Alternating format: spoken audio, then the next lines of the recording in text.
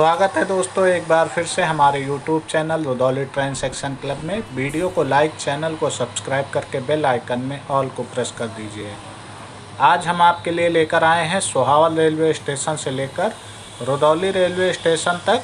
Doubling का कार्य complete होने के बाद आज इन दोनों स्टेशनों के मध्य में आपको हम अपनी ट्रेन एक तैंतीस ज़ीरो सात धनबाद से चलकर फिरोजपुर को जाने वाली गंगा सतलज एक्सप्रेस से आज अपनी यात्रा करेंगे और आज हम आपको एक तैंतीस ज़ीरो सात गंगा सतलज एक्सप्रेस का स्पीड व्यू दिखाएँगे।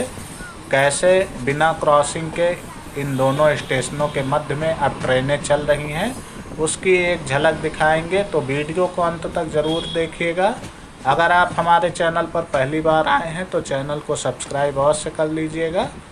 ये सोहावल से लेकर रुदौली तक लगभग 25 किलोमीटर का सेक्शन हमारा डबलिंग का कंप्लीट है और इसके बाद रुदौली से लेकर पटरंगा तक हमारा 15 किलोमीटर के करीब में सेक्शन खुलने की उम्मीद है और उसके बाद एक छोटा सा सेक्शन हो जाएगा रसौली रेलवे स्टेशन से लेकर बाराबंकी रेलवे स्टेशन तक। उस 8 से 9 किलोमीटर के सेक्शन के भी जल्द खुलने की उम्मीद है बाराबंकी से लेकर रसौली तक।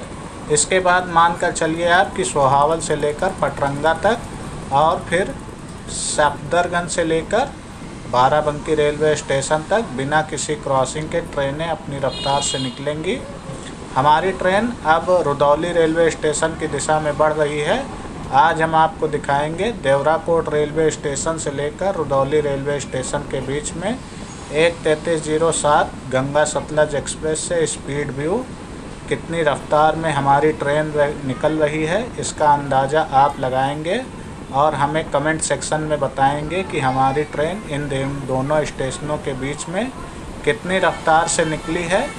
आज का स्पीड व्यू देखकर आप अंदाज़ा लगा सकते हैं कि जब पूरा सेक्शन डबलिंग का खुल जाएगा तो यहाँ ट्रेनें कितनी रफ्तार से निकलेंगी। तो चलिए शुरू करते हैं वीडियो को और फिर मिलते हैं आपसे लास्ट में।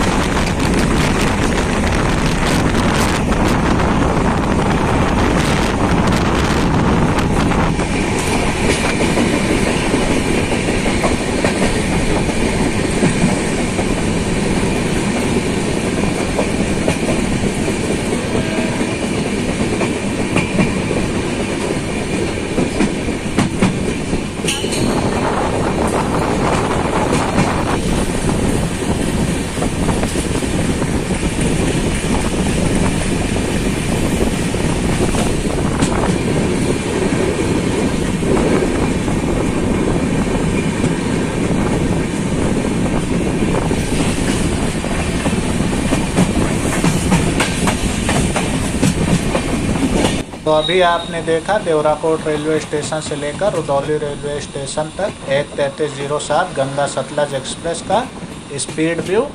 अभी अभी मुझे पता चला है कि आज हमारे चैनल पर, रुदौली ट्रेन सेक्शन क्लब पर एक हज़ार लोगों का परिवार पूरा हो गया है। तो आज हमारा चैनल मोनिटाइज भी हो चुका है, क्योंकि चार हज़ार घंटे का वाच टाइम तो पहले ही पूरा हो चुका था।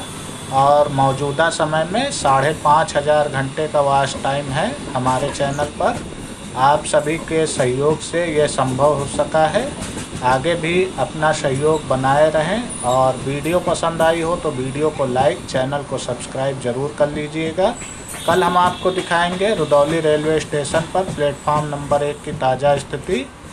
तो वीडियो देखना ना भूलिएगा और वीडियो को ज़्यादा से ज़्यादा शेयर कर दीजिए। फिर मिलते हैं। तब तक के लिए जय हिंद जय भारत।